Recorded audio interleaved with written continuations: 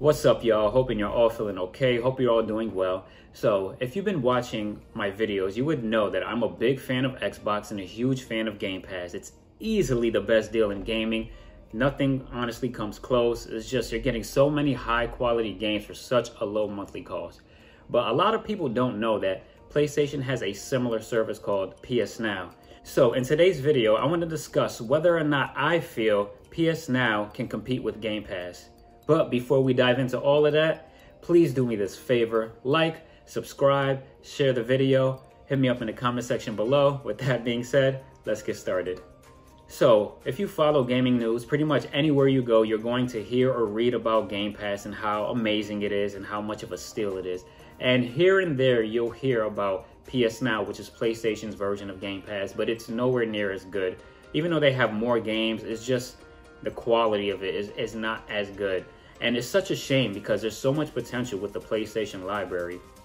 And I want to go over a few things on what I think Sony can do to improve PS Now. And I'm going to tell you straight away, I don't think they're going to be able to compete head to head with Game Pass, but I do feel that they can make this service better. And I wouldn't count Sony out just now. So the big thing that Game Pass has over PS Now is they get their first party games day one Whereas Sony, you have to buy the games at full price. This generation, they raised the price of $70, which is insane. So on Game Pass, when a new Halo comes out, when a new Gears, when a new Forza, when Avowed, Elder Scrolls comes out, you don't have to shell out $70 for each game. All you need is the Game Pass subscription and you're good to go. So Sony has already expressed that that's not sustainable for them. So I don't feel they have the, well, based on that comment from Jim Ryan, I don't feel they have the infrastructure to support day one releases for their first party games. But what I think they can do is they can offer like a some sort of discount for their first party games if you're subscribed to that service or add them onto the service sooner rather than later, not like a year after the game comes out. Maybe I would say leave the game on retail for about two months and then two months later have it hit the service. That way, you know, it's not day and date, but it still gives the subscribers of PS Now something to look forward to. And it also leaves that two month window for, the, for people to buy it. Another amazing thing about Game Pass is, well, Xbox in general, is all the backward compatibility. You can play OG Xbox games, 360 games, Xbox One. They have like a wide variety of games to play throughout all of their generations. And Sony has pretty much given a backhand to backwards compatibility. They they support like PS4 games on PS5 and they have completely disregarded PS1, PS2, PS3 games and they actually just closed some of their older stores. I believe the PS3 and the PS Vita, which is such a shame, but I'm hoping that this is a sign of something better and I want them to add this to the service. I want them to add their older, you know, generation titles to the service. That alone will boost the perception of this service and it'll be awesome that you can be subscribed to PS Now. And like I said you don't have to get games for big first party PS5 games day and date but you get them either at a discount or maybe like 2 months after they release. But you get to play all these amazing like PS for me personally PS2 was PlayStation's best generation. They had some bangers. They had the Ratchet and Clank game Jak and Daxter. They had Metal Gear Solid. They just had amazing games and they're completely locked out of the current consoles. And I don't know what's going on with Jim Ryan and how why he feels so negative towards backward compatibility or older games. I don't understand that.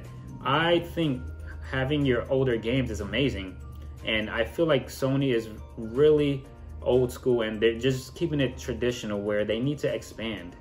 I know they make money, you know, just they keep re-releasing the same games like over and over and over again like the Last of Us, for instance, they PS3 game, then they remade it for on PS4, and now they're remaking it again for the PS5. And I know like it's sad, but their player base will keep buying that game over and over and over again. Similar, similar to Nintendo, they do the same exact thing.